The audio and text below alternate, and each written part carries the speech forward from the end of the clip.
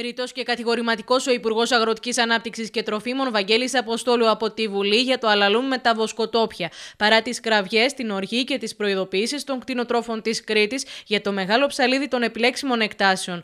Πρέπει να μπει τάξη. Αυτό είναι το μήνυμα Αποστόλου από τη Βουλή μετά από επίκαιρη ερώτηση του γραμματέα της κοινοβουλευτικής ομάδας της Δημοκρατικής Συμπαράταξης και βουλευτή του Πασόκ Ηρακλείου Βασίλη Κεγκέρογλου. Είναι όμως πολύ σοβαρό και πρέπει να, να δοθεί ε, ιδέουσα προσοχή από το Υπουργείο. Καταστρέφονται οι οικογένειες, μειώνονται εισοδήματα χωρίς λόγο.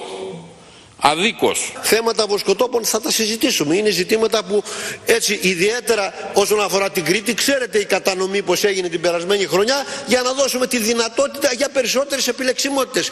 Είναι ένα μεγάλο πρόβλημα και δεν λύνεται απλά το πρόβλημα των βοσκοτόπων για τον απλούστατο λόγο ότι σας είπα, πάλι το επαναλαμβάνω, 315 προχθές εκατομμύρια δεν γίνεται, πρέπει αυτά τα πράγματα να τα βάλουμε σε μια τάξη. Το καταλαβαίνετε ότι από εκεί και πέρα τον άρχεται ο καθένας να επικαλείται ότι Α, εμένα μου απορρίψε την ένωση τη. Α, δεν, δεν, δεν γίνεται. Κάποια στιγμή πρέπει να βάλουμε μια τάξη. Θολό το τοπίο για τους κτηνοτρόφους από την Κρήτη που μιλούν για κούρεμα στην επιλεξιμότητα έως και 80% σε περιοχές στα αστερούσια και απώλεια πολλών εκατομμυρίων ευρώ μόνο για το νησί. Με τον Υπουργό να επικαλείται κίνδυνο επιβολής κοινοτικών προστήμων στη χώρα. Και πρέπει να το καταλάβετε ότι αυτή η εφαρμογή του κανονισμού εσείς λέτε τη δική σας άποψη, εγώ λέω τη δική μου ξέρετε τι αποτέλεσμα έφερε; Ότι για πρώτη φορά η χώρα μας δεν υπέστη δημοσιονομικές διορθώσεις.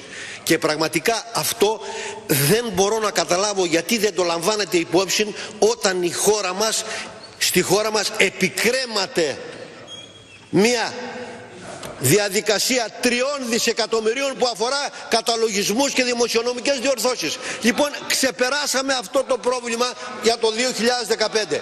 Από εκεί και πέρα θα τα δούμε όλα τα προβλήματα. Την ίδια ώρα, ο γραμματέας της Πολιτικής Επιτροπής της Νέας Δημοκρατίας και βουλευτής Ηρακλείου του κόμματος, Λευτέρης Αυγενάκης, παρεμβαίνει για το θέμα. Η κυβέρνηση όφιλε να έχει ετοιμάσει τα διαχειριστικά σχέδια των βοσκοτόπων, τα οποία θα έπρεπε να καλύπτουν εκτάσεις 18 εκατομμυρίων στρεμάτων. Όμως η απραγία και η ανικανότητά της δεν αποτελεί εξαίρεση ούτε σε αυτό το τομέα, με αποτέλεσμα τα δικαιώματα χρήσης των βοσκοτόπων να στηριχτούν στα ήδη υπάρχοντα διαχειριστικά σχέδια των 14,5 εκατομμυρίων στρεμάτων.